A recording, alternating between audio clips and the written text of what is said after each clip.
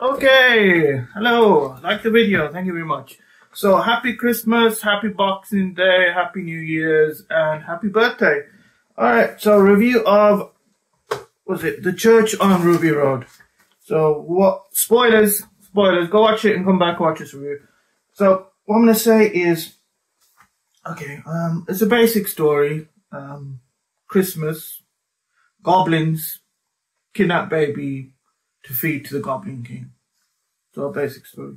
And a Ruby, there's a new character companion called Ruby Sunday, and she was found abandoned on a church. So the title's called Church, Church on Ruby Road. Um, yeah, this seems fine. Um, I don't have, I don't have, I don't remember too many good Christmas episodes. Um, I think the only two good ones that sent out to me were the the Matt Smith one, the Christmas Carol, and uh, Peter Capaldi with the Face Huggers. I think it was called Last Christmas. Those were two good Christmas episodes. I don't have too many high standards about Christmas Doctor Who episodes. So let's go through my list. Yeah, who calls who calls like foundling? Who says foundling? Like there's Davina McCall giving an interview to Ruby, and she's calling her foundling. Dude, uh, the only thing I'm thinking about foundling is that uh, Disney TV show Mandalorian, where they call uh, call him foundling, or and he calls Yoda foundling. So I don't know if they're trying to connect it with Disney. That's why they keep calling foundling. I mean, wouldn't you just say orphan or something? I mean, why would you say or adopted? I don't know. You wouldn't call that person a foundling. It's just odd. It sounded odd. It sounded weird. Um, that was weird. Mm. Okay, it starts out with the dancer, the doctor dancing in the club which is fine. Um, he's, he meets Ruby because he knows when he meets Ruby at the club, he senses something's not right with her, like, so that maybe she's been like messed with, with goblins because she's getting a lot of bad luck. Uh, and you know, one thing I did want to talk about was, uh, the screwdriver. So he's got a new screwdriver. Can you see it there? So I didn't originally, I didn't like the look of it because I thought it looked like a spoon, like a big baby spoon. I thought they were setting him up to fail, you know, failure. But now I look at it, I kind of like it a little bit. You know, I'm starting to like it. It looks, you know, it's got gold, blue, silver in there. It looks more like a TV remote, or to me now it looks like more like a TV remote, or like one of those, you know, you open your garage door and use one of those remotes like that. Yeah, but you know, I like it. It's growing on me. So what do I think of his performance? Uh, uh, Gutty the doc, new Doctor Who. Uh, so, yeah, he was good. He's fine. Nothing wrong. I, I need to see him in new episodes to make up my mind if he's like a good. But he had, I liked his appearance, the 60s, 70s clothing, the leather, and uh, uh, the brown leather. That was nice. Um, he had some mannerisms, and the way he talked reminded me of uh, Doctor Who. So he's, that's fine. That was good. Uh, I need to see more of him before I can make an uh, opinion up. Yeah, uh, Amy Pond. Uh, oh no, not Amy Pond. Ruby Sunday. Very attractive woman. Uh, something for the dads. Uh, something for the straight, straight heterosexuals. Uh, very nice. Like Amy Pond. Like an Amy Pond character. Very nice. Uh, somebody's in the comment se- section said there's been a lot of female attractive companions, so she's long line of them. That's nice. Uh, yeah, uh, Mavity is still a thing. Yep, he, Doctor hasn't gone back, back into the past and changed that.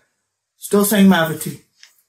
Oh yeah, I did, you know the Goblin Singers, I think some people in the comments section were saying it's turning into a musical. And, um, it, it's a Christmas episode, so I'm okay with them, them being singing. If new series with the new Doctor happens and they're singing all the time, I might it might become irritating.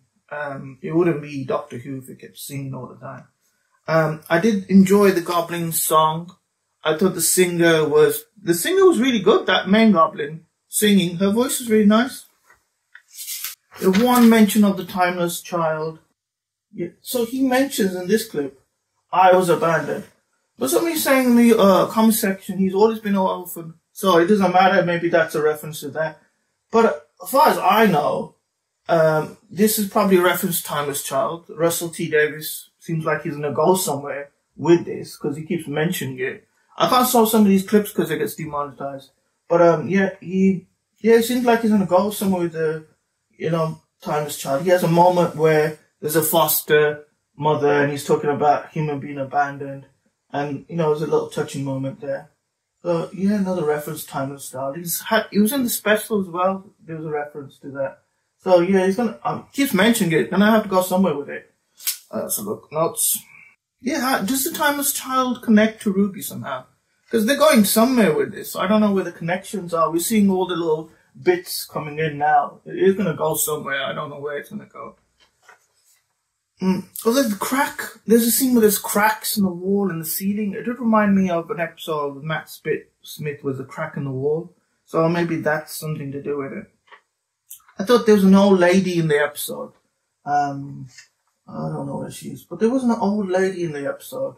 Uh, in that, so I thought the old lady was the master, maybe Missy if she's gone old or something. Or was the old lady her? Like, uh, she's past version of her. But then again, I thought in the end of the scene, she mentioned, yeah, she seems to know what TARDIS was. Her name is Mr. F- Mrs. Flood. She seems to know what TARDIS was.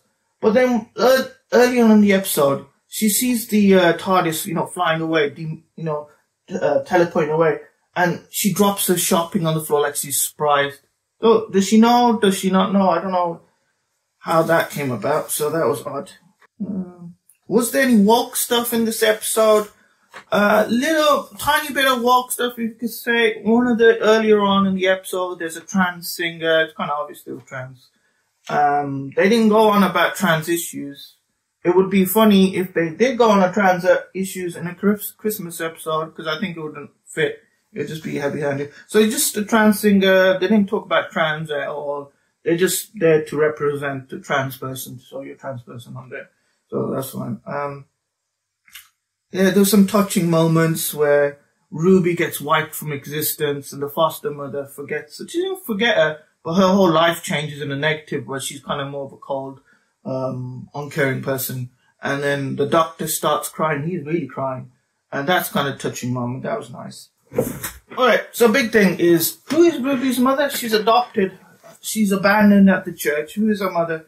Um, I've asked, I made a video, put some comments, and uh, made the list, checked it twice, and um, my suspects are, she could be a trap, right? She's a trap sent into the past by the one who waits right, to mess with the doctor somehow. Uh, she could be uh, daughter of, uh, maybe she's the daughter of a Time Lord, or maybe she's his grand granddaughter, or maybe she's uh, Jodie Whittaker's daughter. Because you know, in the scene, I mean, look, watch in the scene where, if you look, somebody said in the comment section, and I noticed it as well. She's wearing boots, which seemed like uh, her boots seemed like uh, Jodie Whittaker's boots. Oh, they also somebody said they looked like uh, Ruby's boots. But if that's Jodie Whittaker, then the doctor had a baby and he forgot about it, or she forgot about it and abandoned it for some reason. But okay, let's let's see who else could it be. Could it be the Master's baby? could, could it be the Master's baby? I don't know. Is Ruby the Master's baby? Um, could it be Clara Oswald? Now, if, if it's, I think the body type of Ruby, she looks more like Clara Oswald. So I would say, yes, it could be Clara Oswald's child. I mean, they look more similar.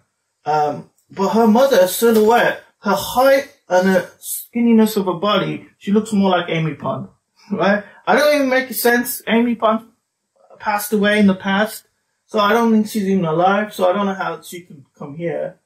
Uh, that doesn't make too much sense. Um, somebody said it was a love child between uh, Davros and a Dalek. Okay, long shots. Um, long shots. Could be his grand or granddaughter.